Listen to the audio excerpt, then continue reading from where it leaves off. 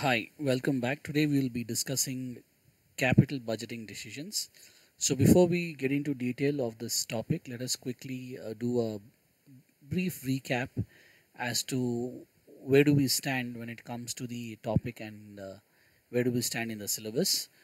So capital budgeting decisions is a part of financial management and uh, we have already discussed in the preceding classes what financial management is, what is finance, what are the functional areas of financial management, and what are the roles and responsibilities of finance department. So this is what we have discussed so far. And we have also discussed another important aspect that is uh, financing decisions. So what exactly do we study in financial management is what we are about to discuss now. So, if you could recall the definition of financial management, financial management is a process of raising funds, administrating funds, allocating funds, controlling funds with an objective of maximizing the profits. And it can also be to maximize the wealth of the shareholders. So, the end result of the entire process involved in financial management that is raising funds allocating funds administrating funds and controlling of funds should result in achievement of these two broader objectives of financial management that is wealth maximization and profit maximization. So if you could split this definition what we just discussed this can be categorized into four broader areas which is also known as scope of financial management and one of the aspects as i mentioned we have already discussed that is financing decisions. So these are the four broader areas of financial management which a student has to study whenever uh, he undertakes financial management course. So let us briefly discuss now what do these four areas uh, deals with? So financing decision is something which we have already discussed. So if you could recall what did we do in financing decision Point number one in financing decision, the first step is to identify the fund requirements of the organization. The second step is to figure out where do we get those funds from. For instance, if you need 10 crores to do your business, which you have planned up, so the important question that needs to be asked is where do you get that money from? So the second step in financing decision is to identify different sources of funds. The third important aspect of financing decision is to evaluate as to which is the best source of funding, the source of funding that would help the organization to achieve its objectives. And the fourth step is to construct the uh, capital structure. Capital structure is nothing but composition of capital. In other words, capital structure means different sources of long term funds used in the capital of the company. So one important point that should be noted down here that capital primarily comprises of long-term sources of funds. So when we see what exactly long-term means, so long-term here means there are two dimensions. One, either it means more than one year or sometimes it can be infinite. That means there is no duration of repayment, right? So this is what financing decisions deals with. And capital budgeting is a part of investment decisions which we shall discuss in today's class. The other areas that you have to study under financial management includes dividend decisions and also working capital management. So let us see what exactly do you study in all these areas. So let us classify this four areas and uh, these four areas can be better explained in these three parameters, right? So decision type, scope and key consideration. So in financing decision, what do we study? The answer is in financing decision, we primarily study how do we get the funds. After procuring these funds, what do we do with these funds? These funds definitely are not kept idle. They are employed for the sake of doing business and where do we employ them? The answer is we employ them in procuring fixed assets. In other words the funds procured should be invested in fixed assets. And these assets would help the organization to do business and to generate revenue. And once the revenue is generated after investing in all the assets what do you want to do with that revenue? Would you like to give it back to the shareholders? Or would you like to give some part of the profit to the shareholder and keep some money for further investments? Or would you like to completely reinvest the revenue generated in new investment avenues? Or would you like to do a combination of all? Or would you like to just keep it as it is? So this is what you have to decide in this segment called dividend decisions.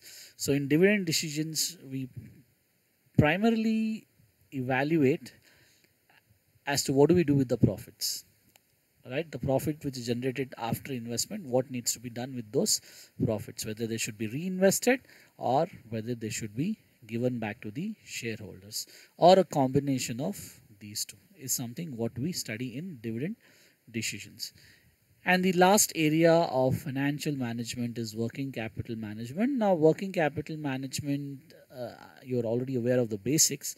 Working capital primarily deals with uh, fulfilling the continuous uh, fund requirement fund which is required to manage the day-to-day operations of the business. So working capital management primarily deals with managing of current assets and current liabilities. So the objective of managing current assets and current liabilities is to ensure liquidity.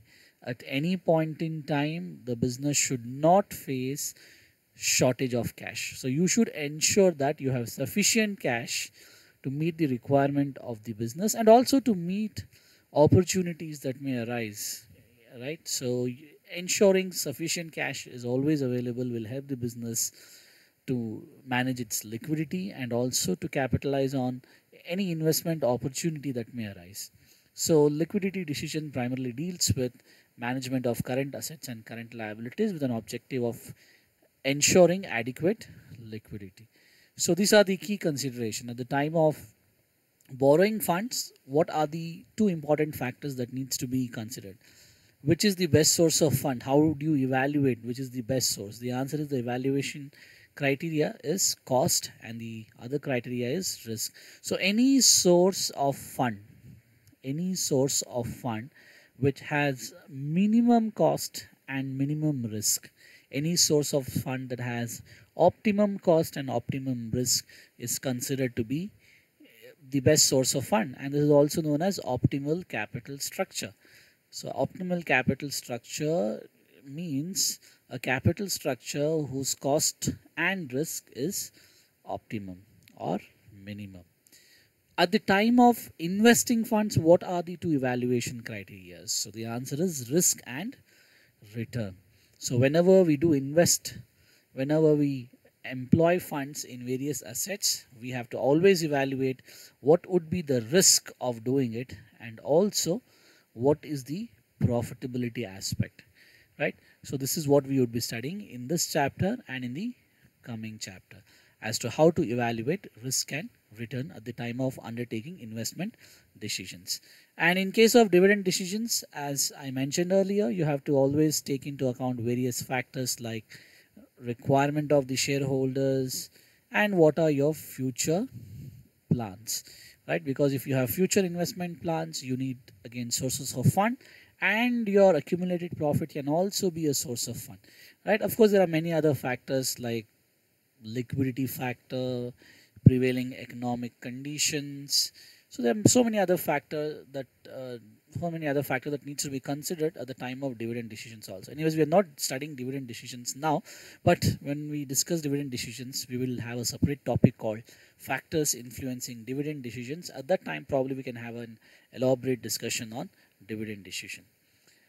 And of course, the last one is liquidity decision. And in liquidity, uh, liquidity decisions, we have to primarily consider availability of cash that is liquidity and also profitability so sometimes what happen in organization to be a little more optimistic may keep a lot of cash reserves to meet any kind of contingency. That is also not advisable because you can't keep cash idle. You have to ensure that that idle cash also generates some sort of revenue which is also known as profitability. So identifying the optimal cash balance is one of the challenging tasks and one of the important decision that needs to be uh, taken as a part of working capital management. In fact cash management is a very uh, elaborate topic which we will discuss at the time of discussing working capital now. So for now you people should be able to understand what is financial management. So financial management is concerned with these four areas right? Financial management deals with taking relevant decisions right? Taking decisions pertaining to financing investment dividend and working capital management and how do these decisions are taken? These decisions are taken by keeping into mind these factors which we have discussed which is given here in the last column key consideration. So now let us move on and uh, slightly deviate our focus on capital budgeting. So before defining what capital budgeting is right let me give you some perspective by giving you a business idea. And this is something which you are familiar with because i'm quite sure most of you right are eagerly waiting for your graduation day a day on which you complete your entire graduation. And generally in most of the institutions graduation day is an important event. An event which is uh, celebrated. It is an auspicious occasion for some right? So usually students wear special graduation dress right? They take pictures they share it on social media right another important highlight of graduation day is the uh, boring part in which you get a lot of uh, messages from different guests and of course your principal also right so generally the graduation day one important highlight of this graduation day is wearing that graduation dress so who gives this graduation dress? Should you buy on your own or is it supplied by the college? In most of the cases, the graduation dress is given by the college. But the question here is do you think the college owns this graduation uh, dress? The answer is no. Generally, the contract is given to a supplier or a vendor who supplies it to all the students on the day of graduation, and the college collects a nominal sum of money and gives it back to the supplier. Does the college have any uh, benefit in this uh, deal between the supplier and you? The answer is yes, some colleges do keep some sort of commission, right? So, some profitability is something which the college may also think of.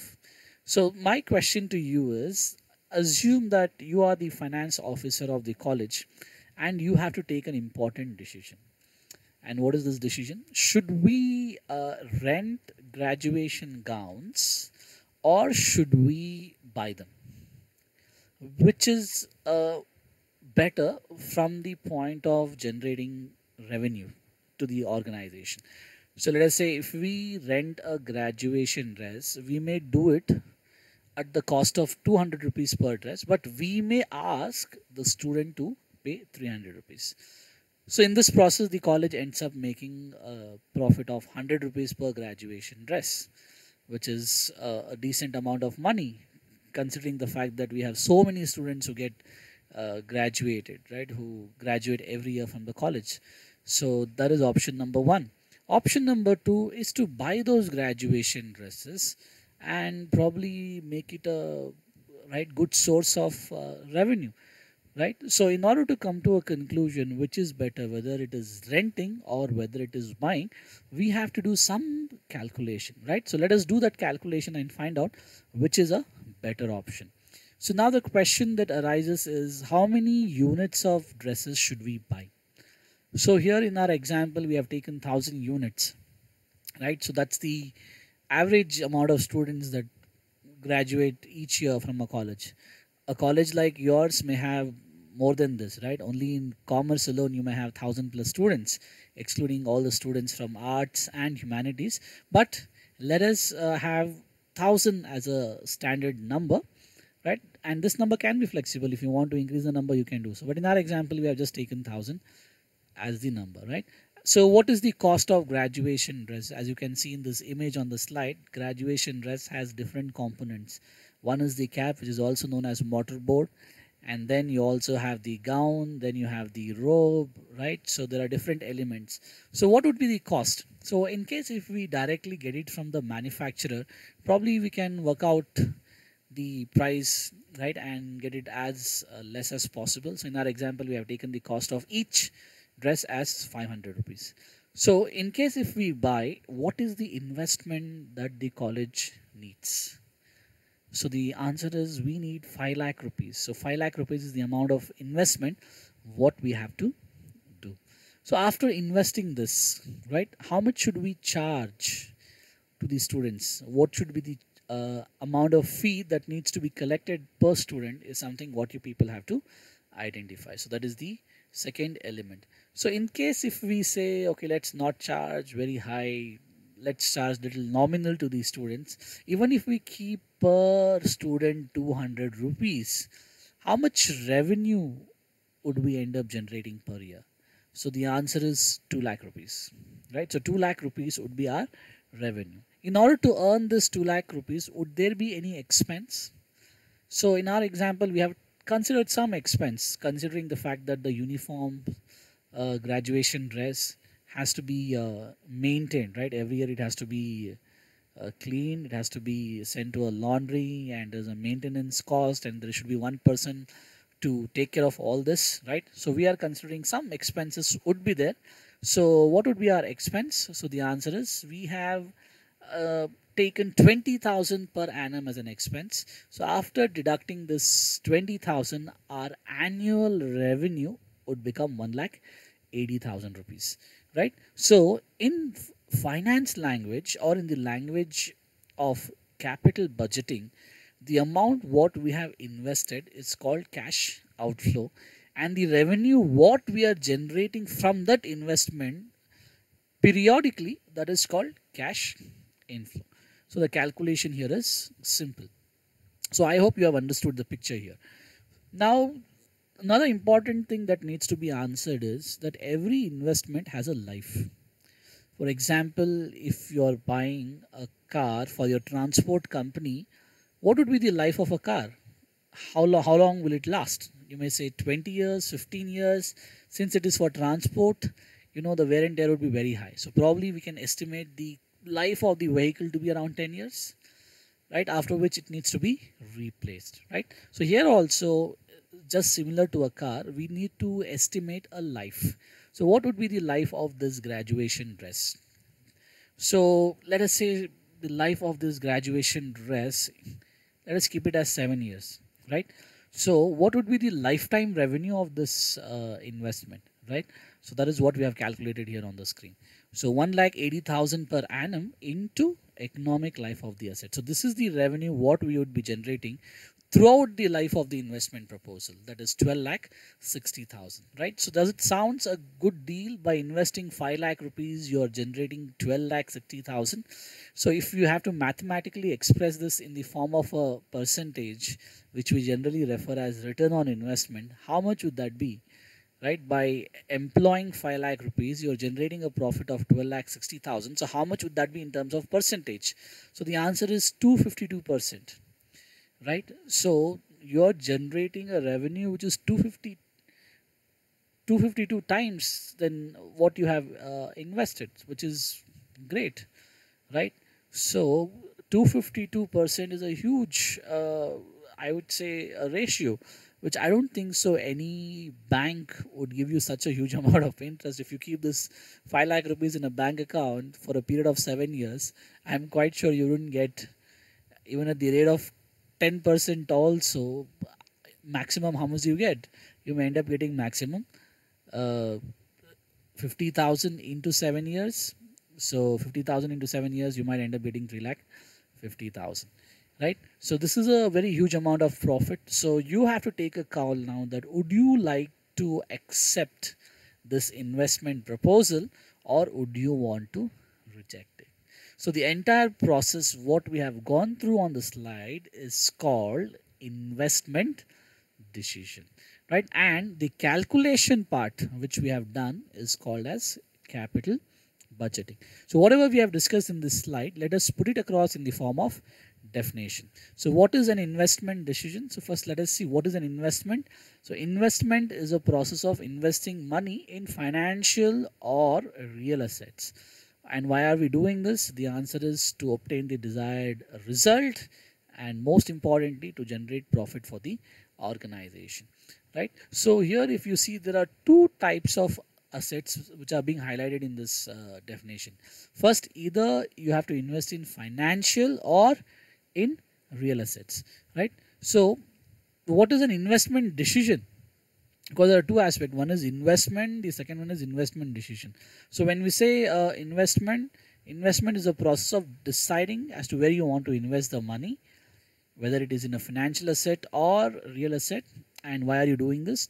Obviously, to make profit. So financial assets are in the form of document documentary claims right? So financial assets includes your shares bonds debentures mutual funds derivatives. Where our real assets are physical assets like gold right? Real estate. These are examples of real assets. So in financing uh, sorry in investment decisions what do we do? In investment decision we apply the funds right? We channelize the funds which we have procured in long term assets right? So here an important point that needs to be noted that investment decision primarily deals with long term assets and not short term assets. So in investment decisions you basically have to decide whether you want to invest or whether you don't want to invest in long term assets. And how do you decide? You obviously decide this on the basis of profitability and you also decide this on the basis of what are the future benefits derived by investing the money in the long term assets. So investment decision primarily deals with channelizing the funds in long term assets with an objective of maximizing the revenue and obviously to derive maximum benefits for the organization. Right? So this is the uh, i would say a kind of a flow chart that would help you to understand the concept and this flowchart is not to define investment decisions. This flowchart is to tell you what exactly capital budgeting is. Right? So what exactly capital budgeting is? The answer is this. So capital budgeting is this illustration what we did. So what have we done in this illustration? Basically we have done some mathematical calculation and what is the end result of this mathematical calculation? The end result of this mathematical calculation was to figure out whether this investment decision is profitable or not. Right? Is it profitable or not? The answer is yes it is profitable. Because by investing 5 lakh rupees we are getting almost two almost 2.5 times of what we have invested. Right? So this concept is called capital budgeting. So, in simple words, capital budgeting is nothing but an assessment in which we try to figure out what is the return. Another aspect, the other dimension, the other side of the return is what is the risk. And this is precisely what is mentioned in this chart that investments are subject to risk and return using capital budgeting we try to identify what is the return and what is the risk associated with an investment proposal. Now you might be wondering that in the previous illustration what we have done is only the one aspect. We have calculated only the return part. And what is that return? It's there on the screen 12 lakh 60000 12 lakh 62000 in terms of percentage it is 252 percent. But have we calculated what are the uh, risk factors in this investment the answer is no. We didn't bother to calculate risk in this example right? So just to tell you briefly what what are the risk factors? Risk factor number 1 we may have another new virus coming up in the future. I hope it doesn't happens like the way we have coronavirus now and if that happens what will happen? Graduation day gets cancelled. You don't get to have graduation day so what will happen to our uh, cash inflow? Cash inflow does not arises there. So that is a risk factor. Risk means the uncertainty right? So that is a risk factor. Risk factor number 2 an important risk factor which we have not taken into account. It's this 12 lakh 60,000 we are going to receive in the future, right? We are not receiving right now. We are receiving this 12 lakh 60,000 over a period of time. So, what would happen to this 12 lakh 62,000 is simple. This 12 lakh 62,000 may lose its value in the future, right? So, if you have 5 lakh rupees, there is a possibility that you might end up buying an Alto car now. But would you be able to buy Alto car with this 5 lakh rupees after 7 years? The answer is no. And the reason why it is no is because on account of inflation, what happens? The value of money declines. So what is that we have not done here is that we have not taken into account value of money. Right? So we have ignored the value of money. The 12 this 12 lakh 62 this 12 lakh 60000 which we are receiving at the end of 7 years right? Its value might actual value might not be 12 lakh 60000 the value might be less in terms of uh, inflation right because of inflation its value may be less right you may not have the same purchasing power with this 12 lakh 60000 what you have now after seven years. So that is also something which we have not taken into account. So like this, there are various risk factors that needs to be assessed. So in our example, we have not done any assessment of risk. What we have done is only the assessment of return. So investment decisions, right, is nothing but investing your money in long-term assets by doing an assessment of risk and return. So doing the assessment of this risk and return is termed as capital budgeting. So capital budgeting is a financial tool which is primarily used to evaluate long-term projects, right? So while uh, we try to evaluate this long-term investment, what are the two important aspects which we have to keep into mind?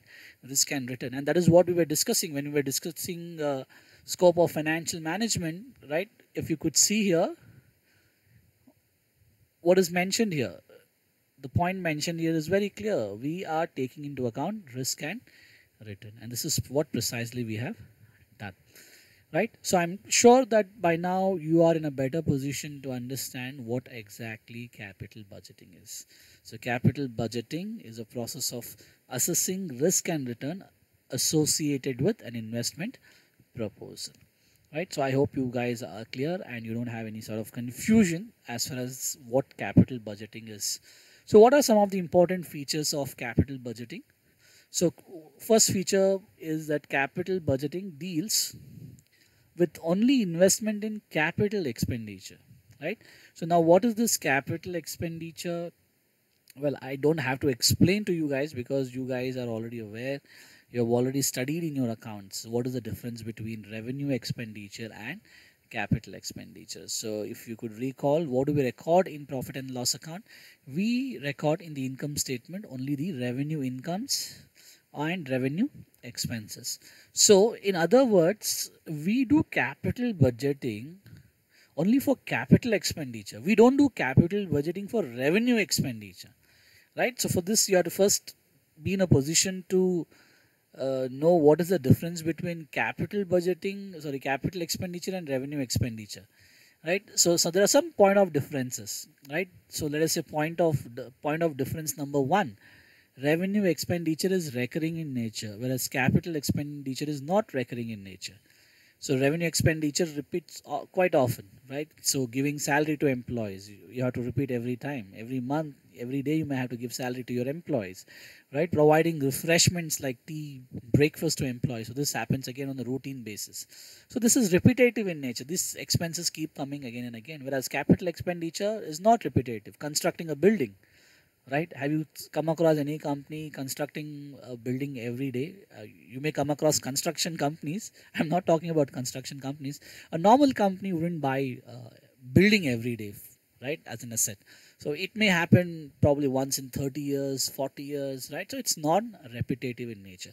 So the point here is that we need capital budgeting for only for capital expenditure because when I'm giving a cup of coffee to my employee, I don't have to do an evaluation as to what is the benefit received by giving that cup of coffee, how much profit I'm going to earn by giving a cup of coffee to an employee, and what is the risk factor of giving that cup of coffee, right? So, this assessment of uh, risk and return, in other words, capital budgeting, is not necessary for revenue expenditure, it is essential for capital expenditure right? So feature of capital budgeting capital budgeting is done only in case of capital expenditure and not in case of revenue expenditure.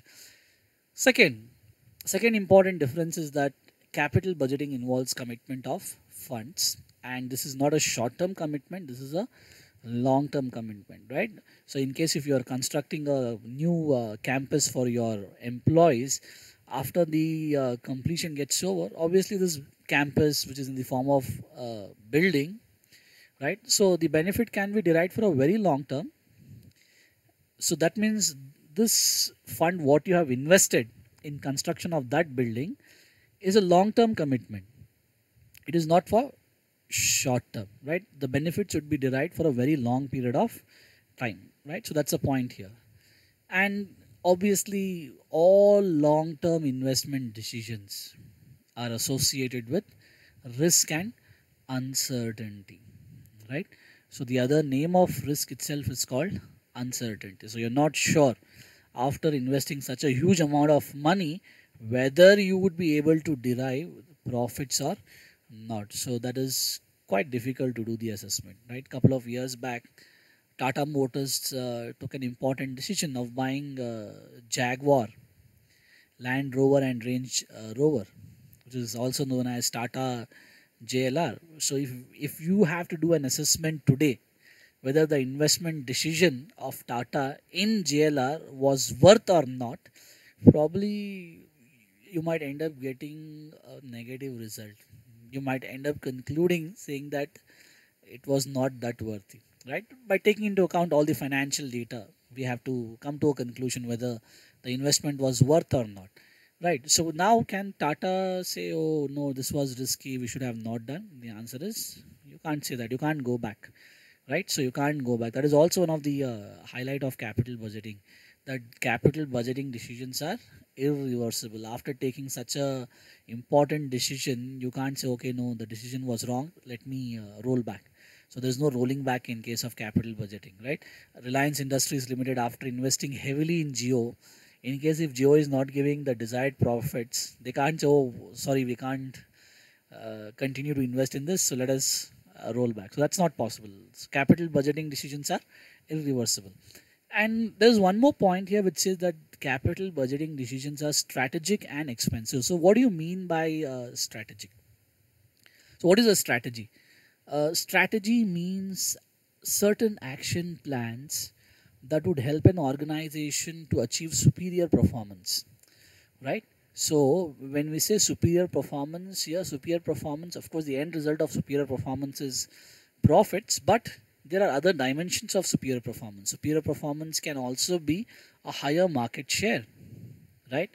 So these decisions would help company to achieve strategic goals. One of the strategic goal is to achieve market share to become market leader to become a global leader, to venture into a new market, to venture into international operations, right? Cost cutting, all these are examples of strategic decisions. So, if you want to take up a strategic decision, right, you have to invest heavily, right? Without without investing a lot of money, you you can't take uh, long term strategic decisions, right? So, automation, whether to go for automation or whether to continue with labor right? Whether to have labor intensive uh, factory or whether to have an automation based factory right? So if you want to go with automation again you have to invest huge amount of money but that automation may help you to achieve better results. You may have zero errors. You may increase your production right? Because human beings do errors. They consume a lot of time. Whereas automation all these problems can be solved. So this can be a strategic decision right? So this strategic decisions may help you to be better placed uh, in comparison with your competitors right? So capital budgeting decisions basically are uh, aimed towards achieving strategic goals and generally they are very very expensive. Since they are very expensive that's the reason they are associated with risk and uncertainty. And in order to identify this risk and uncertainty we have to undertake capital budgeting. So these are some of the important features of capital budgeting now, what are the types of capital expenditure proposals? So, by now, you should be in a position to understand what is capital budgeting and what is capital expenditure, right? So, what are the uh, important features of capital expenditure? Feature number one capital expenditure gives long term benefits. Feature number two capital expenditure is non recurring in nature third capital expenditure involves huge amount of investment. Fourth this is from the perspective of accounting that all capital expenditure all capital expenditures are recorded in balance sheet whereas revenue expenditures are recorded in income statement So by focusing on these four points, I think you would be in a position to identify what a capital expenditure is and what a revenue expenditure is. So what are the types of capital expenditure is what we are about to discuss. And before we could discuss, let me repeat that capital budgeting is required only for capital expenditure proposals. Capital budgeting is not required for revenue expenditure. So the first form of capital expenditure is expansion so if you have to define expansion in one word, what would that be? Or maybe in a form of a sentence, how would you define expansion? So expansion should result in increased sales. The end result of expansion is to improvise on your sales. So how can you improvise on your sales? One of the strategies expansion, right? So what happens in expansion? Basically you're adding on more outlets or you're expanding your production capacity to achieve higher sales right? So these are some of the uh, tactics generally companies used to go for uh, expansion right? Uh, i'm quite sure you guys would have come across a brand uh, called kanti sweets which is very popular in Bangalore, right? Couple of probably a decade back, they were having only two outlets, two or three outlets max in Bangalore. But now, if you look at the kind of uh, expansion what they have gone through, every area in Bangalore has their outlet. So this is a very good example of expansion. Expansion also requires huge amount of money because every time you come up with a new store, you have to spend a lot of money. And what about PVR? How many uh, screens they had when they started, and how many screens they have now? They are India's largest uh, uh, multiplex chain, right? They have highest number of screens in India. They are the market leaders. So one of the objective why a company undertakes expansion is also to achieve uh, market higher market share. The the more sales you generate, there are better chances that you might become a market leader. So in order to expand, again, you need huge amount of funds. So this is the first type of capital expenditure proposal. The second one is called diversification. Now, diversification and expansion, what is the difference? In case of diversification, you're venturing into a new type of business which is not connected with your existing business or businesses.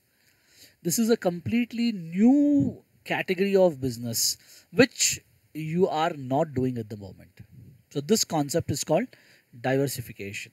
Some of the big companies' names, you whatever you remember, whatever is stored in your brain, they are very good examples of diversified companies, right? Reliance is a very good example of a diversified company. Reliance Industries Limited, which is owned by Mukesh Ambani, has diversified uh, line of businesses, right? They are into telecommunication, right? So Jio is a part of telecommunication, and they are also into uh, retail right? Reliance fresh reliance trends reliance mart all these are part of reliance retail. So they are not into one cat one line of business but in fact they are into different lines of business. So this is a very good example of diversification